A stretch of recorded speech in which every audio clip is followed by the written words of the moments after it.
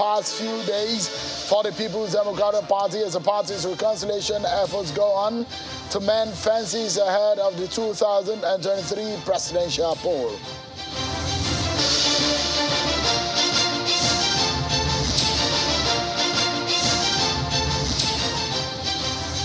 Imo State Governor Hope Uzodinma hands over security vehicles and gadgets to the Inspector General of Police today in be to fight insecurity in the state. Well, amidst all of these are the politics and the internal affairs of the APC. Engage you, Governor, tonight.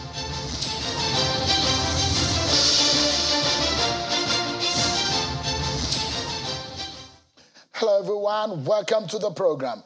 This is Politics Today live on Channels Television. I'm Seun Okinbaloye in Abuja.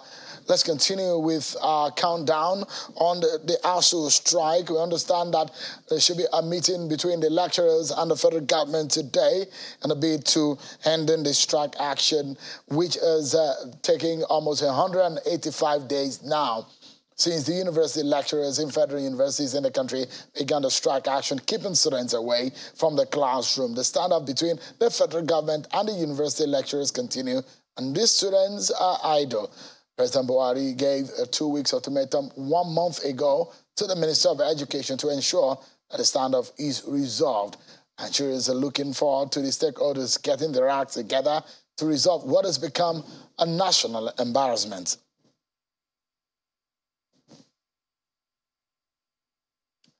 Tonight, several issues are on the table. Security, politics of the APC, politics of the PDP, so much to talk about. Before we get into all of that, let me allow you to listen uh, to some of your political roundup stories.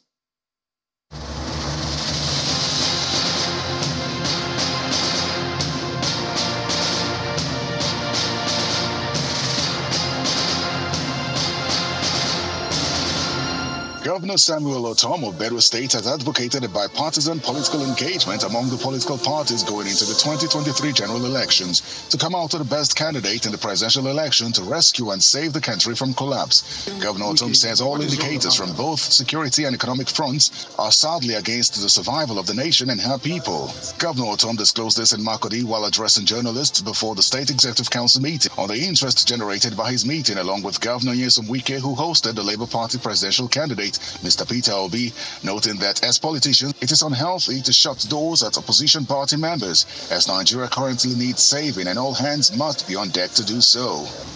I say that the challenges of our country today is beyond partisan politics.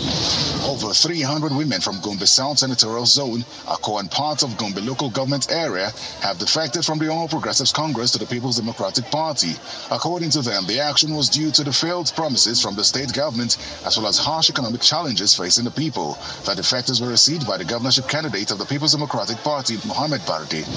Rivers State Governor Nyesom Wike has challenged politicians who helped to win elections in 2023 to relocate from the nation's capital, Abuja, to their various states to showcase their achievements in their areas. Governor Wike believes that the victory of any candidate or political party in next year's polls should be influenced by the kind of governance such individual or party provides to the people. The People's Democratic Party Osun State chapter says the party will not participate in the October 15 local government election in the state.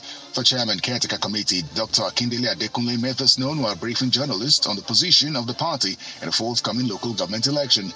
He described the local government election fixed for October 15 as illegal. Earlier on Monday, the Osun State Independent Electoral Commission announced that local government elections in the state will be held on the 15th of October.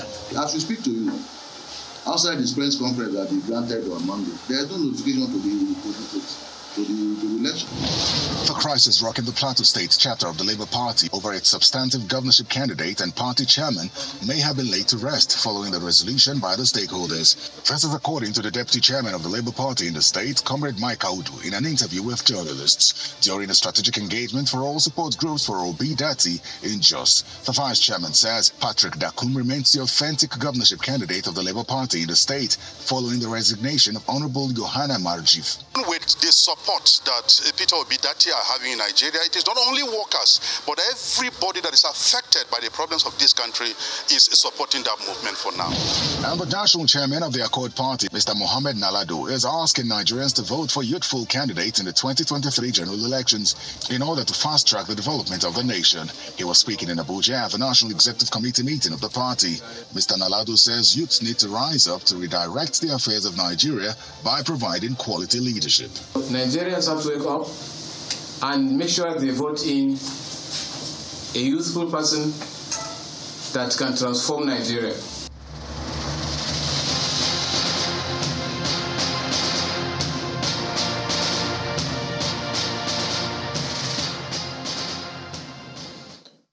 Then, the Inspector General of Police was in Imo State today, and he says any nation that is desirous of securing lives and property of its citizens must first enhance the capacity of its security agencies. The police boss commissioned a 10 armored personnel carrier security vehicle, as well as other security gadgets donated to the Nigerian police force by the Imo State government. He commends the governor, Senator Hope Uzodinma, for his contributions to the security agencies in Imo State, especially in the fight against banditry and all forms of criminality. Meanwhile, Governor Hope Uzodinma says his administration will continue to do its best to ensure adequate security for Imo people as well as investors. He appeals to youth in the state to shun violence and support government in the fight against criminality. Take a listen to both uh, men. Since the inception of my administration, I have always worked with the federal government and security agencies to ensure that Imo State is safe for our people, for people who are also resident in Imo State, and for people who are visiting. Therefore, what we are doing today is not a coincidence, but a deliberate and sustainable effort aimed at enhancing the capacity of the police to execute their constitutional law enforcement mandate. Imo State presents a unique security challenge as one of the major commercial heartbeats of Southeast. As such, the state requires a leader with political will to draw on scarce budgetary resources to equip energize its security architecture. Well, these are some of the sound bites of what really happened today in Imo State.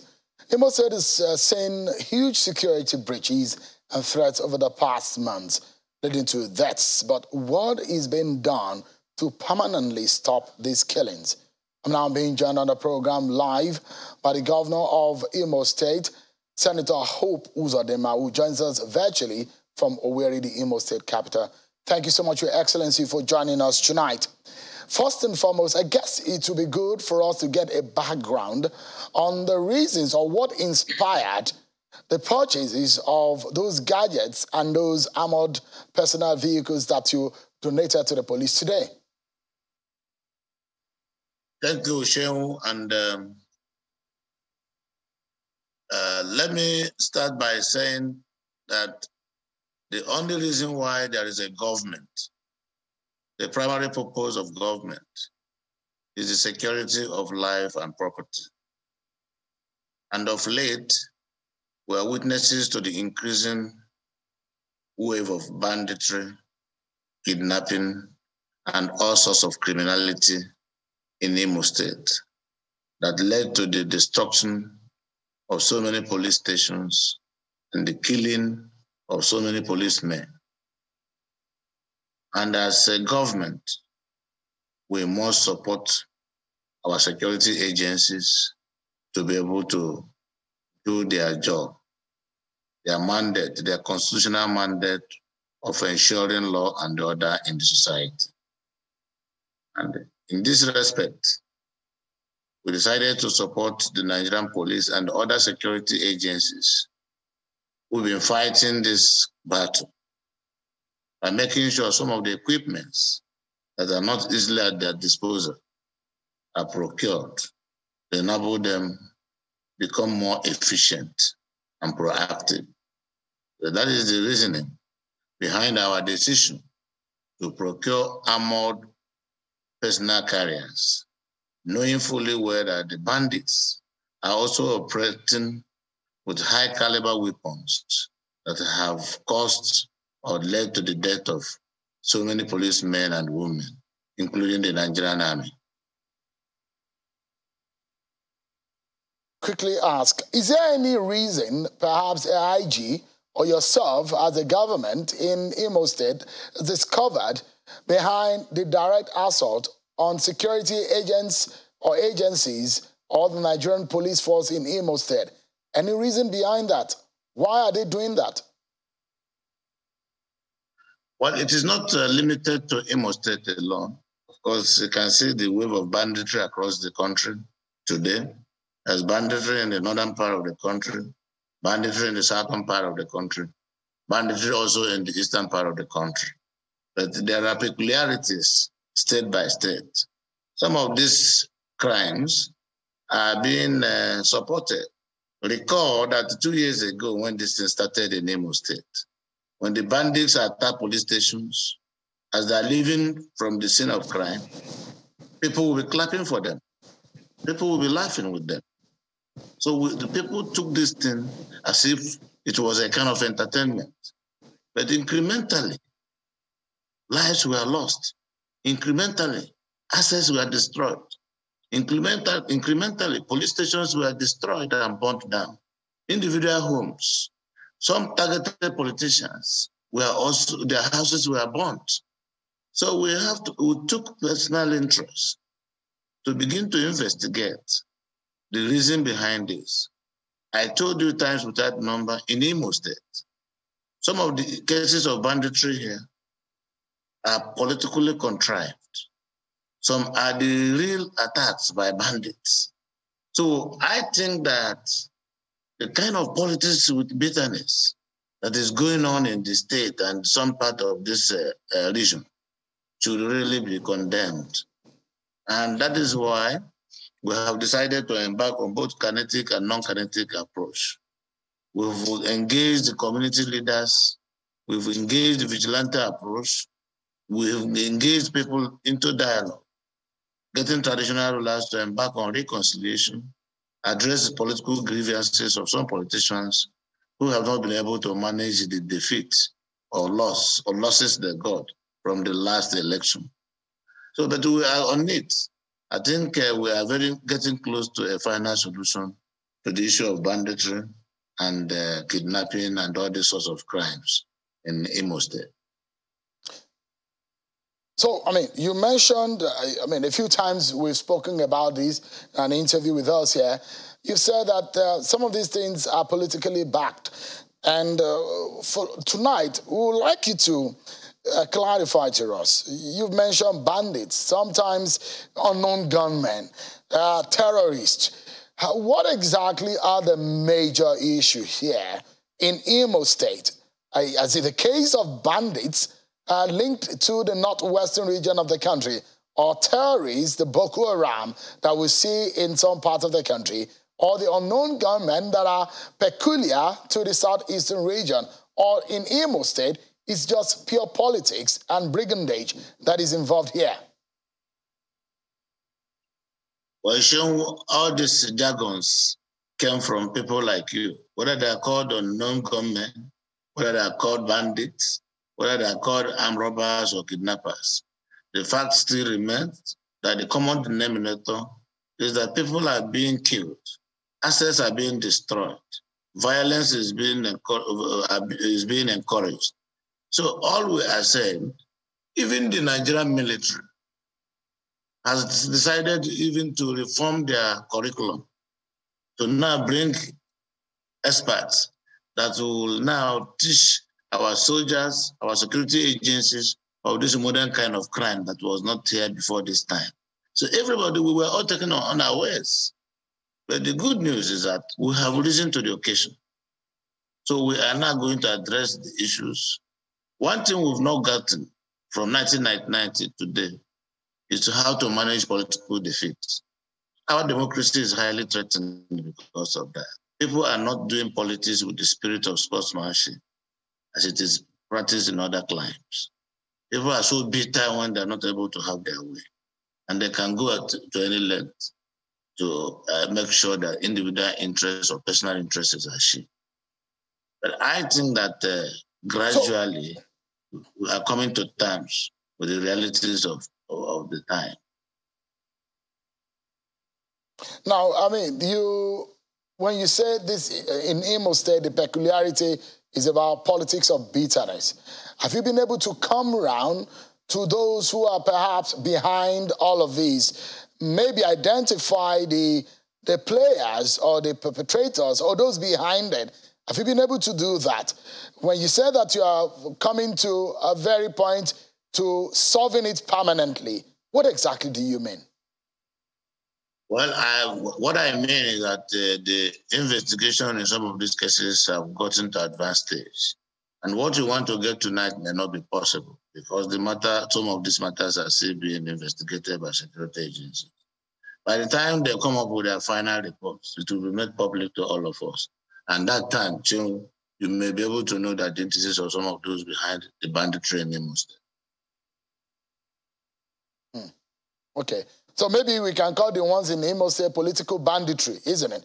Maybe that, that, that jargon might be correct to identify the problem uh, in, because sometimes, as I say, politics is local. Maybe some of the situation in Imo State is also peculiarly local. Um, let me ask you, Governor, uh, the vigilantes and the Ebubeagụ, uh, how much of that has been able to help in securing Imo State or helping. Uh, we saw what happened in Ondo State. Uh, those that have criticized the vigilantes and the Ebubeagụ in Imo State.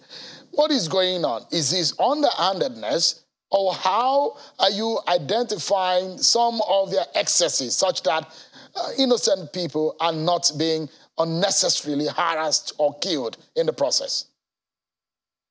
The Ebubeagụ is a vigilante group in Imo State. And how do you become a member of a Ebubeagụ? The community leaders, through their town union and traditional rulers, submit names of young men and women willing to help uh, with the services of uh, vigilante arrangement that Imo State government uh, created. It is a product of a legislation there is a law backing Ebubeagụ by Imo State House of Assembly. And the, the approach is to get communities to be involved, collect intelligence, and then hand this intelligence to security agencies. And the has no sophistication, like the kind of rifle, the kind of gun that the bandits are carrying all along. Ebubeagụ doesn't, they're not armed. The Bible is a vigilante arrangement who, when they see unusual movements, they pick it up and they report to security agencies to work with. So it's not as if it's a, a kind of uh, a, a, security force that goes to war or that can kill or, or, or that or that. So I am saying that those who are not interested in having a peaceful atmosphere, a peaceful environment in Imo State, are those that are criticizing Ebubeagụ. Some of these bandits are now operating as Ebubeagụ. Of late, we discovered that bandits will attack a particular place. And the next thing, because they have their syndicate, the next thing you will see, they come up with a propaganda. Ebubeagụ have attacked. But between me and those who are in charge of Ebubeagụ and the security agencies, they know that the Bible doesn't have the capacity to attack men with sophisticated arms. So it is that is why the, the political undertone of the criminality in Imo State is gradually being unraveled.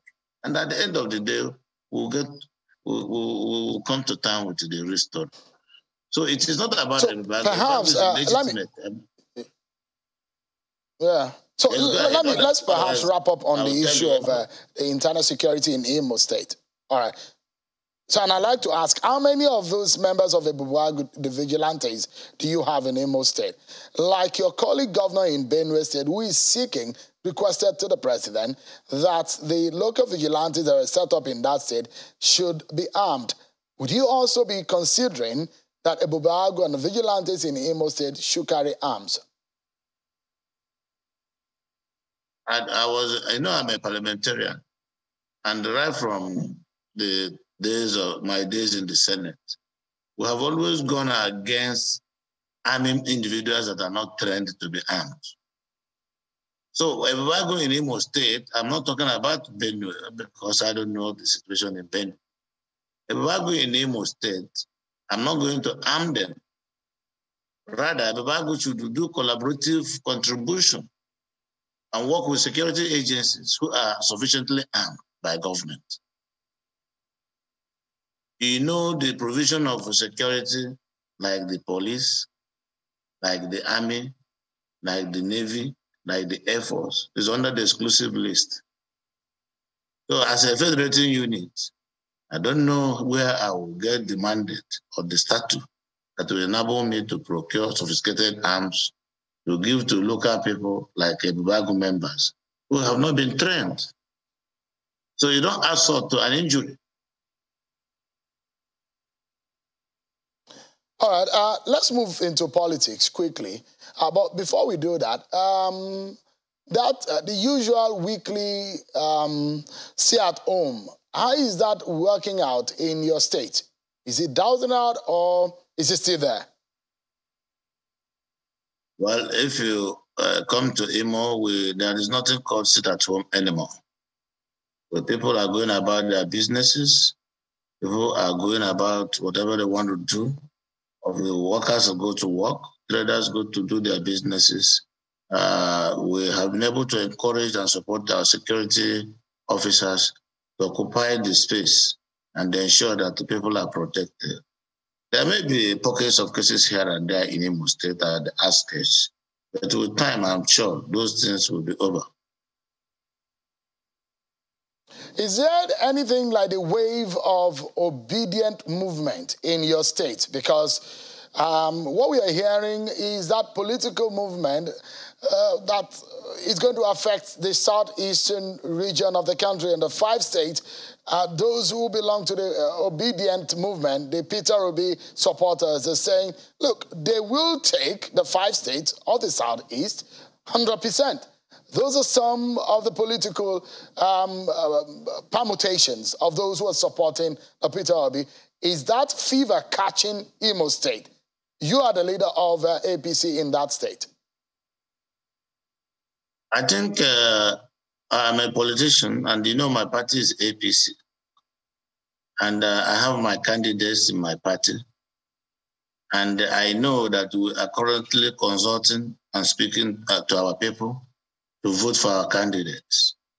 So, and I'm concerned with what will come out of my campaign for my party. I don't want to join issues with people who you know is not a member of my party.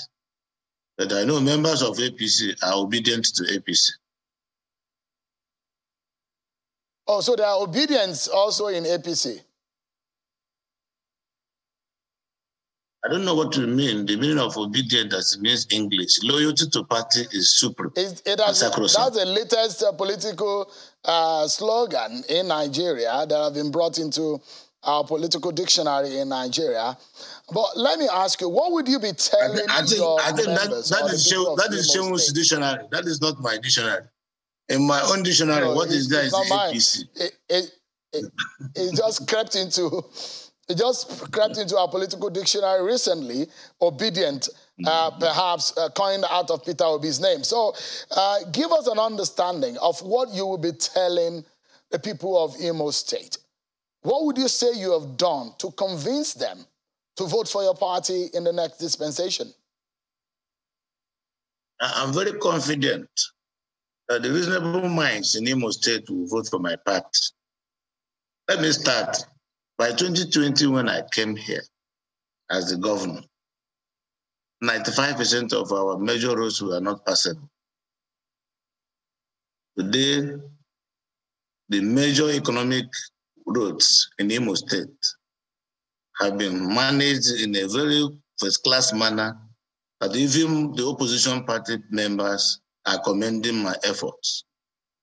From 1999 to today, members of Imo State House of Assembly has no place they stay to sit. They are attached to one local secretariat here in Owerri. The Imo State House of Assembly building that was abandoned over 30 something years ago has just been rehabilitated and the parliamentary environment created for our legislators. There is no member of the House of Assembly who go into that place, come out, and tomorrow there is an election that will not want to vote for APC. For over 30 years, the Imo Standard Shoe, which was a major industry, created by Mbakwe administration was abandoned and seized by AMCON for bad loans. My government, within two years, have just recovered Imo Standard Shoe. And any moment from now, Imo Standard Shoe will be creating over 10,000 jobs. Recall that the Malaysians came to Nigeria to take a palm can, palm fruits, seedlings, to go back to Malaysia. That was the Eastern Palm by the government of MI Okpara. Adapalm has been ab abandoned for over 30 years. I've just recovered Adapalm, paid off the loans, on to bank memorandum of understanding with the rules of Dublin.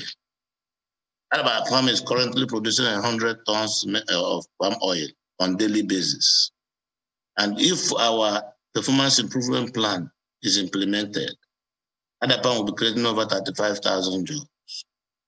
Why will those people from there not vote for APC? Over 1,800 workers that were retrenched without pension I have just paid their pension. That is 1,800 votes for APC. Owerri water scheme, all the residents in Owerri lived without water for over 18 years. Owerri water scheme is running now households in Owerri can now drink water. Why would they not vote for APC?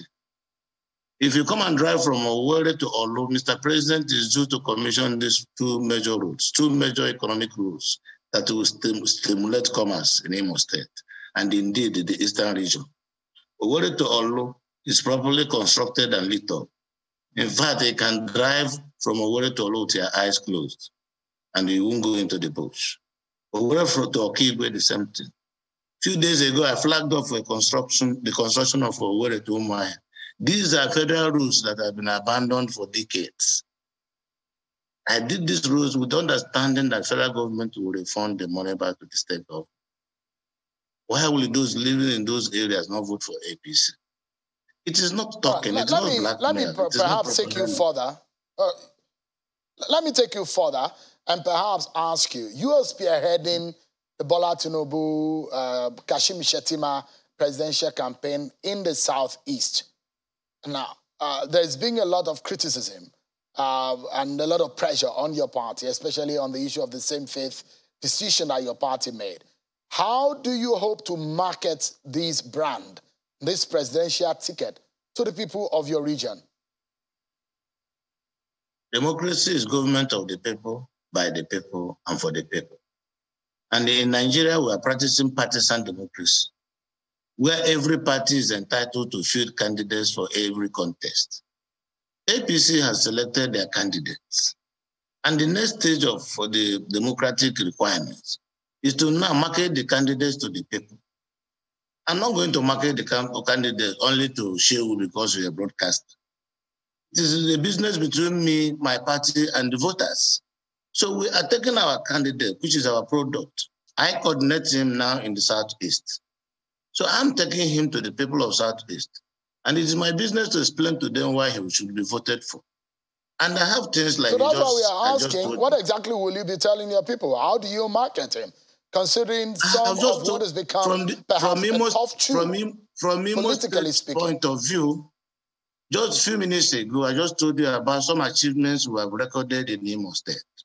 In the same manner, Shegu, before 2015, all we hear is that there will be a second Niger bridge that will connect commerce between Lagos and the East.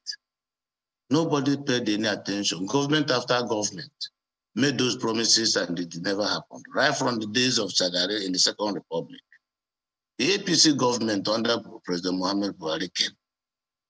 Second Niger Bridge is 95% complete and about to be commissioned by the Mr. President any moment from now. With a budget of 368 billion naira, 98% fully paid for by giant uh, construction giant Julius Berger. But cut to uh, Enugu Road up to 2015 was not passable. Go there and now, you see that all those traders from Aba, from Nnewi, from Okigwe that were crying during that period, they are now very happy because the road has been done. The same thing from Onitsha to Enugu. The same thing from Onitsha to Owerri. So we have things to show. It is not about propaganda. It is not about uh, social media. It is not a social club. We're talking of democracy. And leadership is a serious business. The President Muhammadu Buhari administration, with its achievements, that has refused to go into propaganda like all the opposition parties because of the patriotic determination of Mr. President. He has been able to decentralize development in Nigeria. That today, if you talk about Southeast, you have things to show for it. If you talk about Southwest, you have things to show for it. Anybody who does not like APC government in Southwest, and yet every morning you enter train in Lagos and go to the Ibadan, and you enter train in uh, Abuja, you go to Kaduna, and you come and see that the Eastern Rail Line is being rehabilitated from Harcourt to Maiduguri, with all the federal road networks under serious construction, some already right. completed. What are we talking about? No, no. So We're let's get to the campaign time. field. But let me, uh, please, uh, we need to close this conversation. And I'd ask, like to ask you this just in about five seconds, if you can answer this. Since you're spearheading uh, the APC campaign in the Southeast, out of the five states, how many of those states can you deliver to your party? Well, um, you see, it is not a predetermined uh, arrangement. I'm confident that APC has done so well to the extent that they can win all the states in Nigeria. But we still need to engage the people. And campaigns will soon start by September, and we'll have to go and market our products. By the time we finish the marketing, then we'll carry out an opinion poll that will tell us or give us an idea of how many states that will win proper. Because we're talking about human beings. And in this business, one day can change a lot of things. Don't forget, it's democracy. All right. Thank you so much. Governor Hope Uzodinma, Executive Governor of uh, Imo State, thank you so much indeed for your time tonight. I appreciate it. Thank you, Seun. Thank you. Bye bye bye. All We'll take a break, everyone. And when we return, we take on the internal affairs of the People's Democratic Party and the reconciliation effort. How much of the fence mending uh, agenda is being achieved. To find out, my next guest is was a presidential aspirant of the PDP, Mr. Samuel Ohuabunwa. Stay with us, everyone. We'll be back.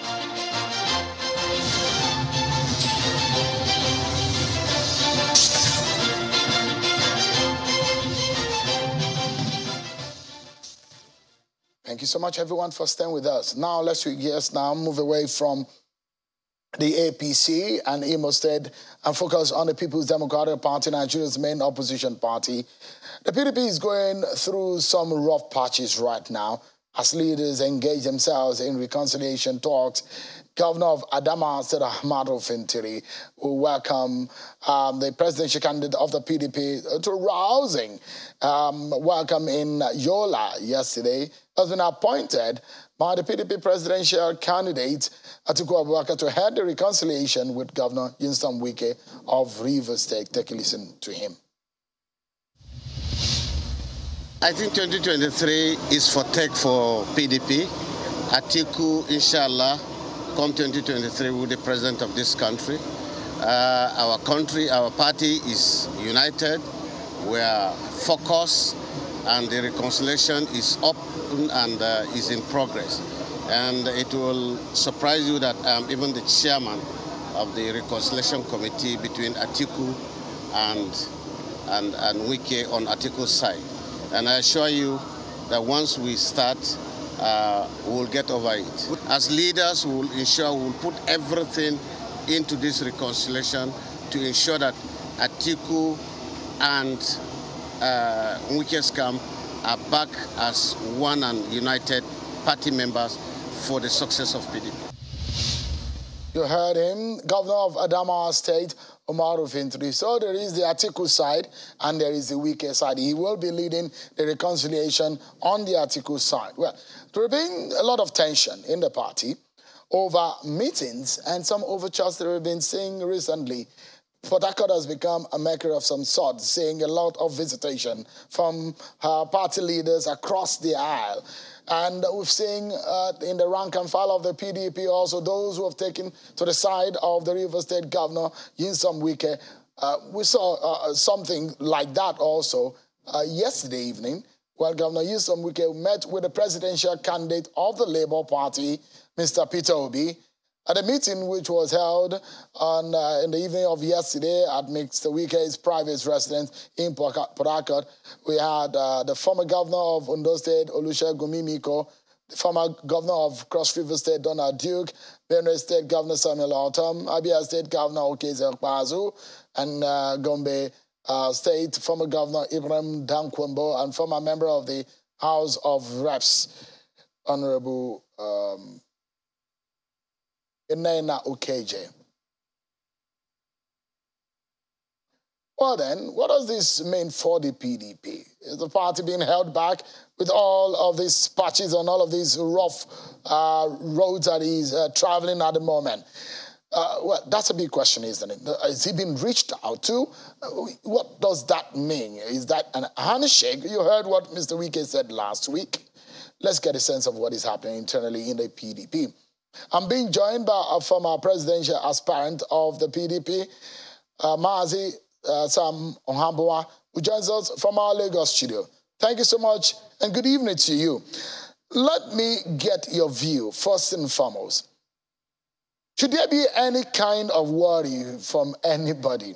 For those who have uh, thought that these meetings that you're seeing in Port Harcourt mean something politically, from your own point of view as an insider, what is your view on it? Thank you, Seun, uh, for inviting me to this meeting uh, this, this evening. Um, to be sincere to you, uh, I, I, for some of us who are not uh, used to, you know, mincing words, uh, we speak as we are led to speak the truth.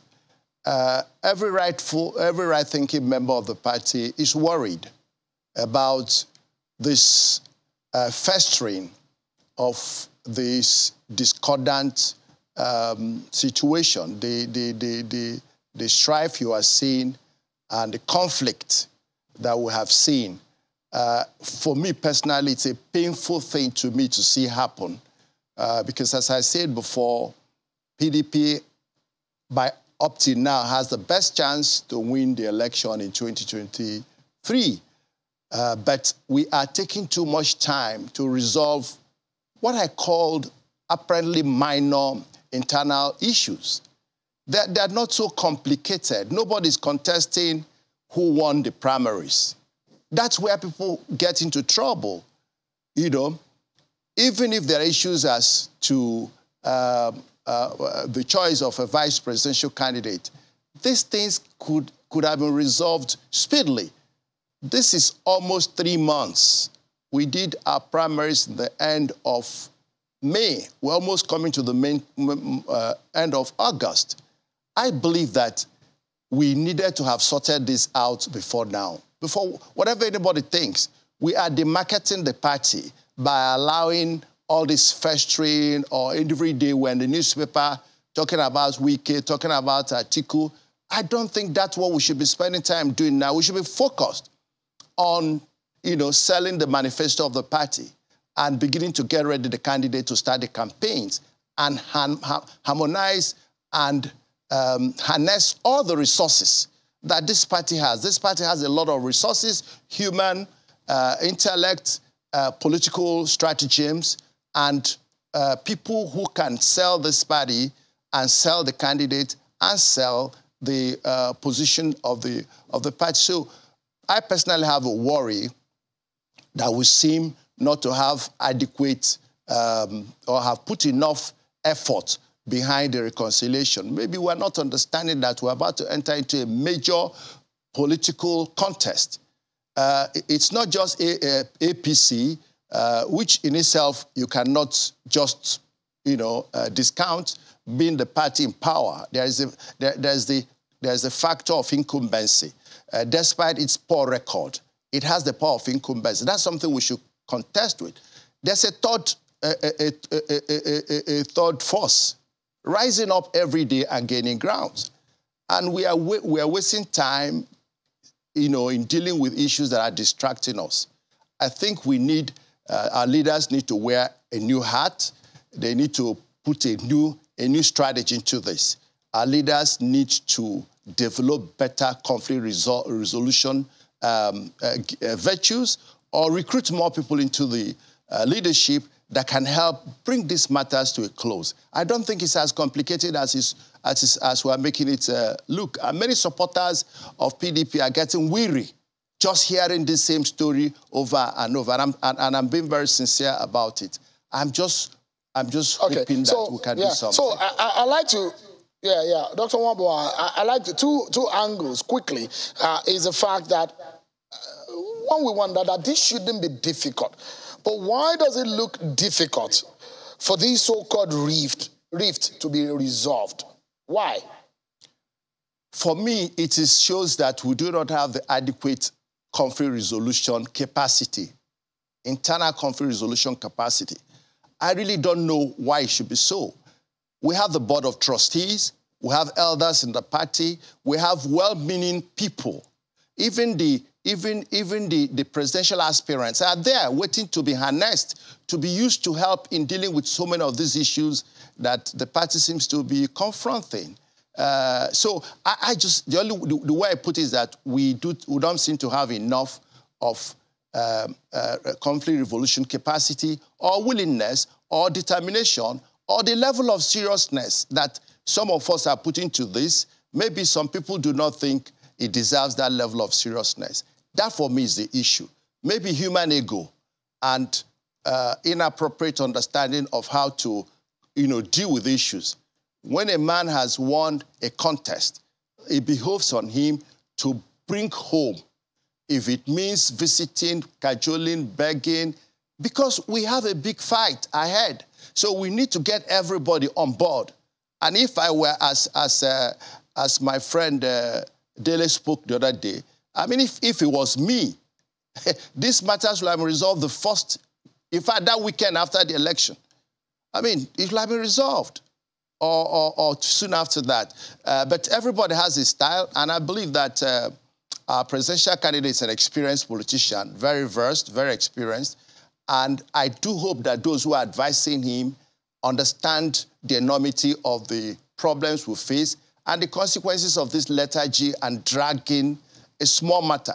I mean, people say if you can't resolve ordinary internal conflict, and you have a country bedeviled with conflicts, bedeviled with, with all sorts of uh, problems, why, why, would it take this long to, to even resolve the security problem if we come to power in, in, in, in 2023?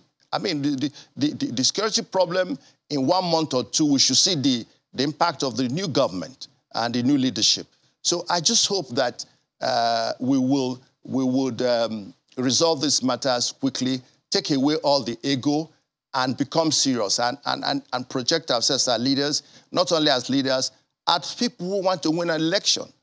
Every day there's a headline right. news let about me, let me let me hop in again. Uh, yeah, yeah, yeah. Quickly, sure.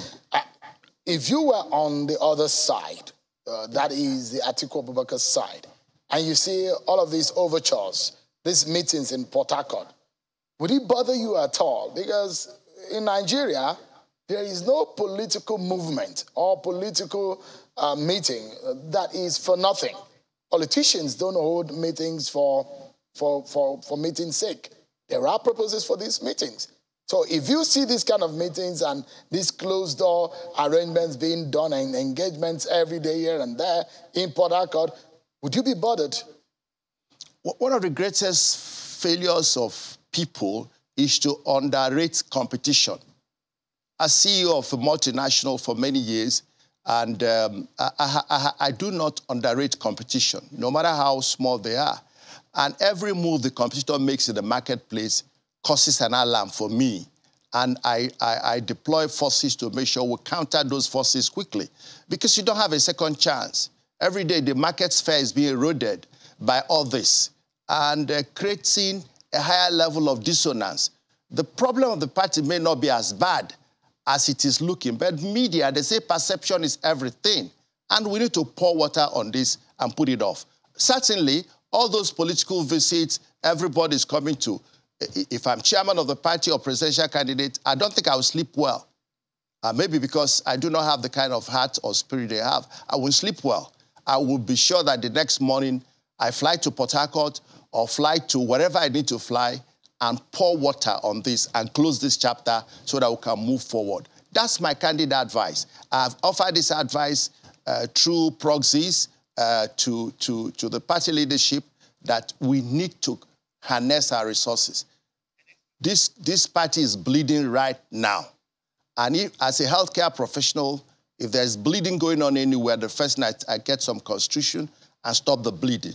It is important because the hemorrhage can cause damage. The party has had enough time to sort out these problems, uh, these, these disagreements that are not, uh, that, are not, and, and it's, I come to think of it, this is not the only one.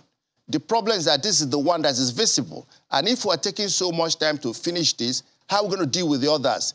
The others are quiet, wondering and waiting when their own issues will be dealt with. So I think the party leadership has a call.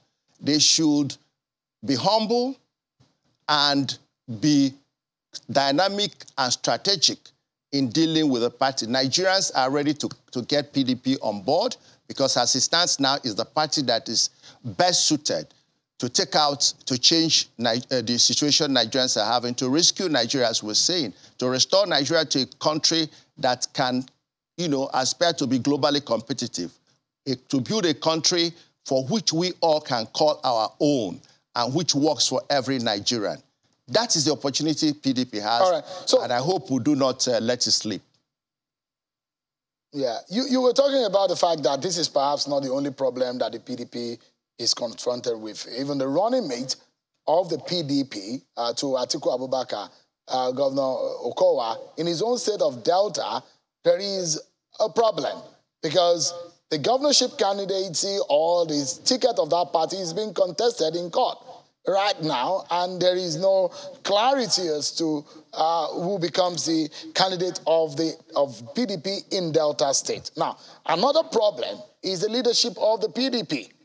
Now, we're made to understand uh, sources in the PDP in some meetings that uh, when Senator Iyorchia Ayu was decided a consensus uh, as a consensus candidate, he was made to sign an undertaking that if any candidate, presidential candidate emerges from the north, he will resign his position. And there was an interview he granted to Vanguard newspaper. And let me read a portion of that uh, interview, sir. He says, if the PDP, I'm quoting part of uh, the response of uh, Senator Iyorchia Ayu in that interview published in Vanguard newspaper. He said, and I quote, I'm a very democratic person and I will do everything to promote the interest and image of my party. If the PDP says I should step down after a presidential uh, candidate emerges and happens to be from the north, I will be very glad to do so because what we want is to take over the government and run the government in the interest of Nigerians. So I will sacrifice anything to ensure that my party wins. End of quote. Those are some of the uh, responses from um, Senator Iyorchia Ayu to the Vanguard newspaper. Now, we understand now that some of the talks is that Senator Iyorchia Ayu should step aside. How are you digesting this kind of scenario and what has become a tough chew for the PDP? Again, uh, I, I, I, keep wondering, uh, you know, politicians have been, have been painted with all sorts of brushes One of them is that you don't rely on their words. One of them is that they are not trustworthy. One of them is that many of them are not principled. But I, I, I have met Dr. Ayucha, uh, Iyorchia Ayu, and he looked to me like a principled person. I have, I have evidence uh, in my own experience to think that he's principled. And uh, he's a man, I think, that means well or, or, or ordinarily. Uh, so I, I, do not think even that we need to quote or remind him what he said, if he said that, uh, as reported on the media. If I am leading a party that is about to go to war, I understand the, the sentiments of the people of Nigeria, inclusiveness, making sure we have north-south balance, mid, uh, Muslim, we, uh, all kinds of demographic balance, uh, religious balance, ethnic balances, and all that. If I were the leader of the party, I didn't even need anybody to remind me to begin to say how we can change this mix. The South said they wanted the, uh, uh, the presidency, but it, it, the party decided against their constitution to allow it go to the North for expediency. And many people from in the party who believe in party supremacy are trying to live with that. Now you create a situation where the hierarchy of the party is from one section of the country, from board of trustee to chairman to presidential uh, uh, candidates and all that. We don't even need an external person to tell PDP that they need to do some rejigging so as to make the party look in, uh, uh, inclusive. We're all going to campaign, if we're allowed to, for the party. And when you go to your constituencies to campaign, you will need to say something. And they ask you questions. What are you going to answer? Sam, you were the one fighting for a South-South, uh, a Southern president, a Southeast president particularly. We don't have it. We don't have chairman. We don't have uh, BOT ch uh, chairman. We have nothing. Sam, what are you telling me? In good conscience, what should I be saying? So I don't think uh, uh, you need to have made that. Uh, uh so, so in, invariably, so in essence, in, in essence, uh, Dr. Ohuabunwa, are you? Is it fair to say, Senator Iyorchia, you should step aside now that Atiku Abubakar has emerged? If that's what he said, as I said, I see him as a man of honor. Then he should follow the path of honor, if that's what he said. But I'm even going beyond that. Assume he didn't say it. If he's the leader of the party who has brought us to this point, he should make the sacrifices, do what needs to be done to make sure that Nigerians are happy with PDP, members of PDP are happy, they can bring their whole mind, their focus, and, and join the. So if he needs to step down for that to happen, he should do so. I mean, it's the best thing for us to be to take the necessary action that will unite the party so that we can face the the, the, the enemy in quotes. Of course, there's no enemy here, but the opponents, uh, the, the, opposing parties in the election. The, the, the, the chairman of the party has a, a, a, an onerous mission and responsibility to make sure the party does not break apart, that the party does not continue to um, erode or, or, or continue to uh, you know, be divided in its seams. Nobody can go to war, which we're about to go to, with this kind of division I'm seeing and unhappiness and complaints. All Many right. of the complaints are, are yeah. under the table. So I advise uh, Dr. Iyorchia Ayu, whom I think is a man of honor, because I have met with him a couple, I've also expressed that to him. He should take responsibility as the father of the party. He shouldn't be arguing with anybody. He shouldn't be going with the media and responding or reply. No, there are there are there are there are diplomatic ways he can deal with things without stoking more fire. He should see himself as the father. Right. He's not competing with anybody, yeah. and take those strategic decisions that will show that he's really a leader of the greatest party, the biggest party in Nigeria, even though it's they say in, in Africa, but at least for Nigeria, I can say so. All right. Dr. Samuel Ohuabunwa, presidential aspirant in the People's Democratic Party in the 2023 presidential primary. Thank you so much indeed for your time tonight. I appreciate it. Thank you, Seun. God bless you.